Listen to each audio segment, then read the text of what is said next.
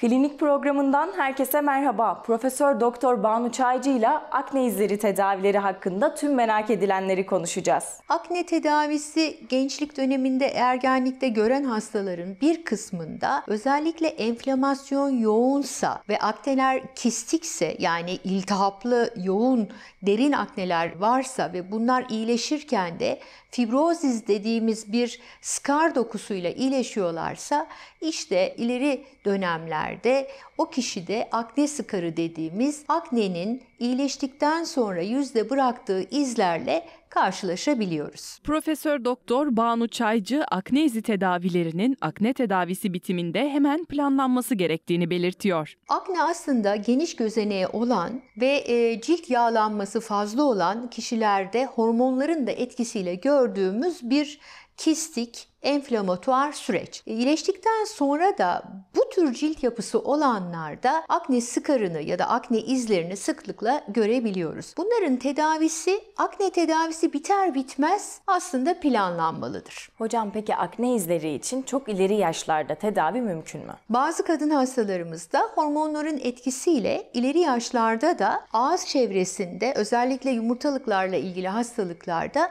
biz akne oluşumunu görüyoruz. Özetleyecek olur olursak akne tedavisi biter bitmez skar tedavisi yapılmalı. Neden? Çünkü 30'lu yaşlardan itibaren cildimizdeki kolajen sentezi %20 azalıyor. Akne skarı da e, temelde aslında kolajen sentezini uyararak yaptığımız bir tedavi, skar tedavisi. Bu nedenle kolajen sentezi çok azalmadan akne tedavisi bittikten sonra 20'li yaşlarda, 30'lu yaşlarda skar tedavisine de başlanmalıdır. Banu Hocam bazen bazı kişiler akne izlerinin hiç geçmeyeceğini düşünüyorlar. Peki bu akne izleri gerçekten tedavi edilebilir mi?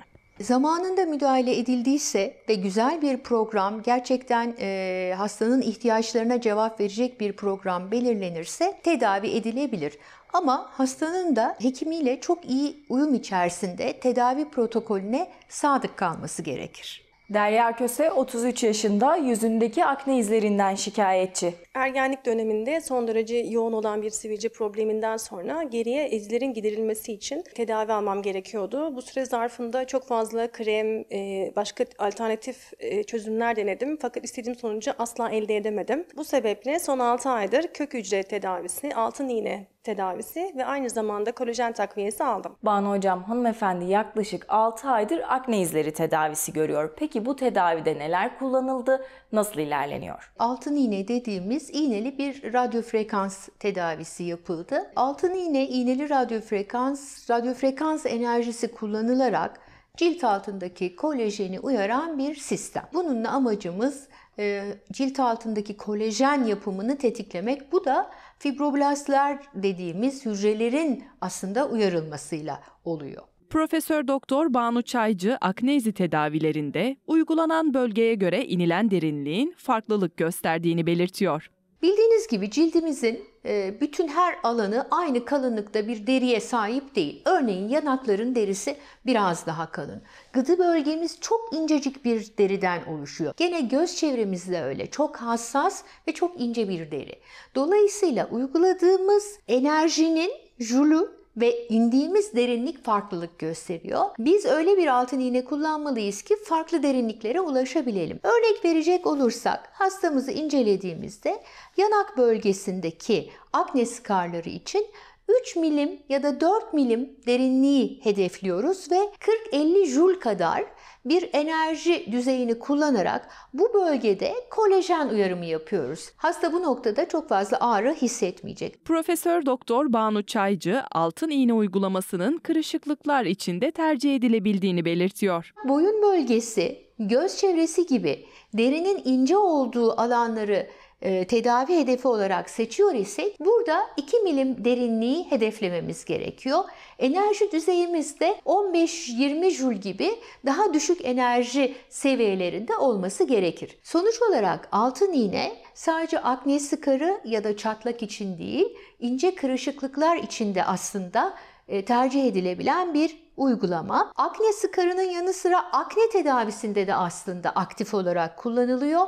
Özellikle Kistik aknelerde dışarıdan verdiğimiz bir takım antibiyotik tedavileriyle birlikte bu kistik aknelerin azaltılması ve inflamasyonun gerilemesi için biz altın iğne tedavisini kullanabiliyoruz. Hocam bazı hastalarda da çok derin çukurlaşmış izler oluyor. Peki bunlara bir şey yapılabilir mi? Elbette e, bu hastalarda da biraz evvel saydığım tedavilere ilave olarak benim geliştirdiğim bir takım e, metotlar var. Bunlardan bir tanesi de kanül dediğimiz özel e, iğnelerle cilt altına girerek bu fibrotik bantların serbestleştirildiği özel bir tedavi metodu.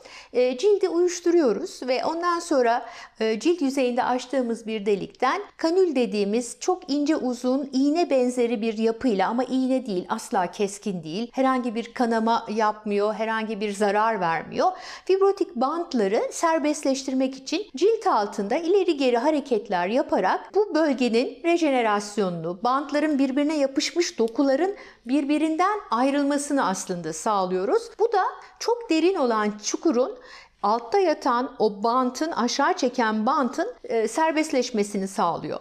O artık serbestleştikten sonra çukurun içini doldurmak ya da orayı tamamlamak çok daha kolay olabilmekte.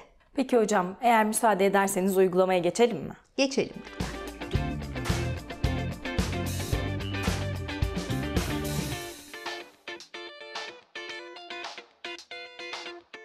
Banu hocam uygulamamız bitti. Hasta bundan sonra nelere dikkat etmeli? Öncelikle tedaviye düzenli olarak devam etmesini e, önermekteyiz. Evde de kullanması için serum ve nemlendirici bu tedaviye uygun e, bunları önerebiliriz. E, Ağızdan kolajen kullanımı da bu noktada hastaya destek olabilecek tedavilerden bir tanesidir. Verdiğiniz değerli bilgiler için teşekkür ederiz. Rica ederim. Klinik programımızın sonuna geldik. Programımız bilgilendirme amaçlıdır. Doğru tanı ve tedavi için mutlaka doktorunuza başvurun. Hepinize sağlıklı ve mutlu günler dileriz.